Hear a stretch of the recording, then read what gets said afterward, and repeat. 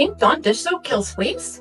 It does, but here's why it's not the fix you think it is. Here's the truth. Yes, Dawn can kill adult fleas on contact because it breaks down their outer waxy layer and that causes them to dehydrate and die. But here's the problem. Dawn only kills the fleas on your pet right now. It does nothing for the eggs and larvae or pupae already in your home. A single female can lay up to 50 eggs a day. That's over a thousand eggs in her lifetime. And those eggs come off your pet and into the carpet and bedding and the furniture and everything in between.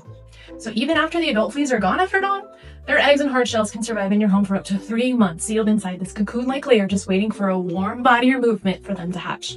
And once they do, those new fleas jump right back onto your pet and keep the cycle going.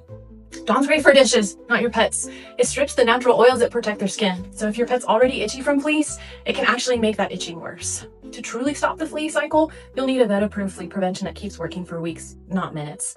Some over-the-counter products can help, but they often miss certain life stages like the larvae or eggs, which is why infestations keep coming back. And if you're feeling overwhelmed or worried about costs, you're not alone. Flea control can be tough.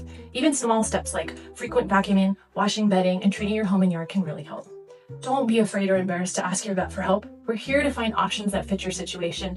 And in many cases, you can buy a single dose of prevention at a time instead of full packs to make it more affordable. In the long run, those temporary fixes like Dawn or some over-the-counter products often end up costing more because the fleas keep coming back. Want more pet tips like this? Follow for the next trusted insight straight from a vet because understanding your animal starts with you.